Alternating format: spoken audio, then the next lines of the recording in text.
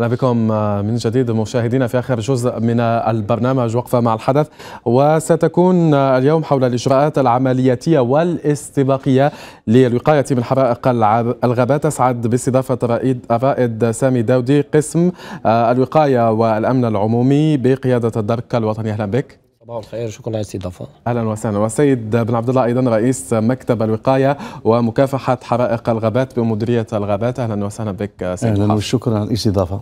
أهلا وسهلا. اذا نتكلم حول الحملة التحسيسية للدرك الوطني وأيضا المديرية العامة للغابات. هي حملة تدخل ضمن الإطار والمجهودات الراميه إلى آه، الحد من الاحتراقات الاحتراق في الغابات. شهدنا الموسم الماضي يعني حرائق مأهولة يعني أكثر من 69 قاتل يعني رحمهم الله خاصة في الأسلاك آه، الأمنية من الدرك والشرطة.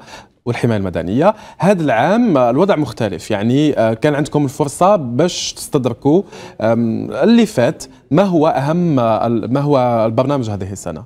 تفضلوا لي حبيب ده شكرا. آه، فيما يخص آه، العام الماضي اللي نترحموا على شهداء الواجب وشهداء حرائق الغابات اللي كانت العام اللي فات يعني فيها الأرواح اللي كانت سقطت. وكذلك يعني بحرنا تقريبا 100 ألف أكثر من 100 ألف إكتار من الغابات. آه، في أسبوع واحد 72% من هذه المساحة آه، يعني تقاس الحرائق. آه، في إذا كانت إذا قلنا العام اللي فات كانت فيها تقريبا 21 ولاية اللي قاستها اللي قاستها حرائق الغابات. والأكثر تضررا كانت تقريبا في ثلاث ولايات تيزي والزوبجايه وخنشلة العام الماضي يعني شفنا وتيرة الحرائق كانت ازدادت في أسبوع واحد. اذا إذا خذينا بعين الاعتبار آه، ولاية تيزي وزو في ولاية تيزي وزو 33 حريق آه، حريق يعني شعلت في أوقات اللي ما لازمش تشعل يعني من 11 تاع الليل فوق. إذا شفنا هذا الوقت يعني ننجموا نجزموا باللي هذه أفعال مفتعلة. كانت مفتعلة. وحتى التحقيقات تاعكم أدت إلى اكتشاف ذلك وحتى المخططات الإرهابية اللي كانت في هذيك الفترة نعم. نروح نتوجه الآن إلى حالة الغابات قبل أن أتي لك سيد رائد حالة الغابات يعني بعد سنة أكثر من 70% من آه، هذيك الخضار هذا كاع راح يعني حالة الغابات في هذا الموسم كيفاش راهي الغابات؟ نعم إذا شفنا آه، إحنا عندنا اتفاقية مع وكالة الفضائية الجزائرية تقريبا من 2005 آه، عندنا 400 4 ملايين و100 ألف هكتار من الغابات مساحة كبيرة. يعني إحنا آه، نقدروا نقولوا باللي بالصور الوكاله الفضائية أعطت لنا كاين تجديد غطاء النباتي طبيعيا تقريبا وصل حتى 60% 60% من الغابات يعني رجعت الحالة تاعها الحالة تاعها يعني آه، آه، على 15 سنة باش حتى أنتم ساهمتوا في حمله التشجير نعم. العام الماضي صحيح. وكذلك وين وين ما نقدروش إحنا وين ما فيش التجديد الغطاء آه، النباتي طبيعيا إحنا إحنا ندخلوا. آه يعني في 2021 2022 غرسنا أكثر من 11 مليون يعني شجيره كانت بمساهمه المواطنين وكل يعني أطياف المواطنين. يعني من من من من الخارج يعني من الخارج كانوا الناس ساهمت اللي ما قدرش يجي بعث يعني الدراهم وشراو يعني شجيرات وقمنا بهذه العملية. والحمد لله يعني آه، إن شاء الله إن شاء الله آه، كارثة العام الماضي ما تعودش ترجع وهذا ما نتمناه نذهب إلى رائد داوديل. أكيد آه، سياده الرائد أنه آه، نبدأ من الحدث. يعني شهدنا البارح آه، يعني حرائق مفتعلة في ولاية ورقلة أدت إلى حرائق في نعم. واحه للنخيل يعني أكثر من 250 نخلة تلفت وتخسرت. أين وصلت التحقيقات في هذه القضية؟ نعم. شكرا. كإضافة فقط على نعم. السيد أبو عبد الله أن حرائق الغابات الموسم الفارط خلفت 104 قتيل وحوالي 115 جريح نترحم على الموتى حيث أدت إلى خسائر مادية وبشرية جد معتبرة خاصة في الفترة الممتدة من 1 جوان 2021 إلى غاية 31 أكتوبر من سنة 2021 الحرائق هذه كانت كانت عمدية خاصة في الفترة الممتدة بالتحديد من 9 أوت إلى غاية 14 أوت 2021 والتي مست آه، آه، بالتحديد منطقتي تيزي وزو آه، وبجايه باش نرجع لك السؤال تاعك فقط إن البارحة كان هناك حريق تم على اثره واثر التحريات توقيف مشتبه بهما. اثنان تحقيقات رأي متواصلة وجارية وسوف يتم تقديم المعنيان. أمام وكيل الجمهوريه المختص نعم. الأكيد انه الوقاية والتحسيس تلعب دور كبير جدا خاصة ساكنة المنطقة المناطق الجبلية وساكنة المناطق اللي فيها يعني غطاء نباتي مهم. شاهدنا العام الماضي في الحرائق اللي هذوك الناس هما اللي كانوا أكثر تضررا من هذا المشكل. يعني كيفاش يلعب دور التحسيس من هذه الحرائق دورا هاما في عملية حماية الغابات أيضا. كيف ذلك؟ فيما يخص يعني عملية التحسيس والتوعيه إحنا إحنا في, في, المحاور اللي عندنا عندنا محور أساسي هو التحسيس والتوعيه التحسيس والتوعيه يعني نبداوها تقريبا من اليوم الوطني للشجرة هو 25 أكتوبر.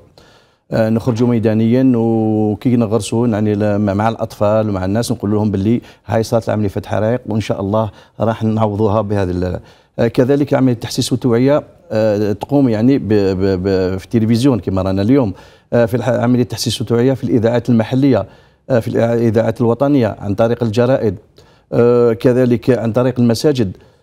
كل هذا نوجدوه قبل أول جوان. آه كذلك المحور الثاني هو محور يعني الأعمال الوقائية.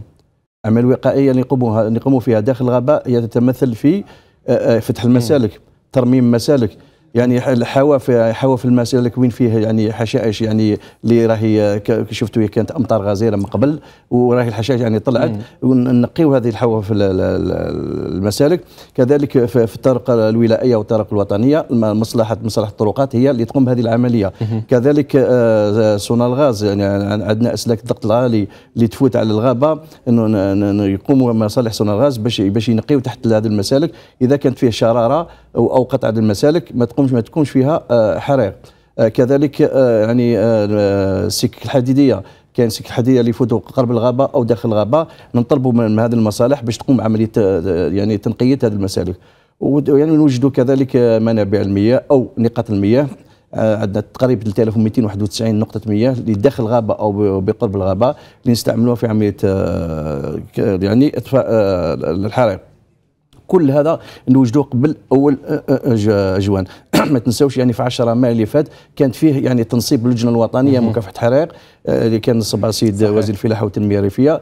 هذه هذه اللجنة اللي فيها 13 ممثلي وزارة مختلفة. وتجميد أيضا إنتاج الفحم واستيراده أستاذ ميدان كسؤال أخير حول الاستراتيجية تاع الدرك الوطني فيما يتعلق بحماية الغابات ومكافحة الحرائق.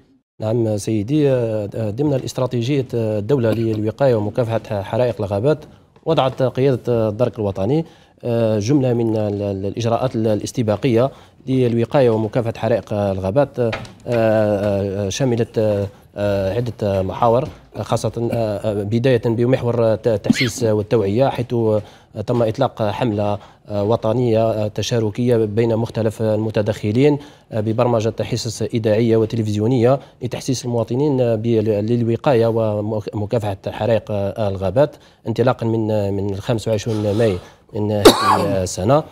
كذلك في إطار في إطار مراقبة الغابات تم تكثيف دوريات مع مختلف المتدخلين. نذكر هنا المديرية العامه للغابات وذلك بتنفيذ عدة دوريات حول المحيط الغابي وكذا مراقبة المحيط الغابي عن طريق طلعات جوية باستعمال الطائرات العمودية.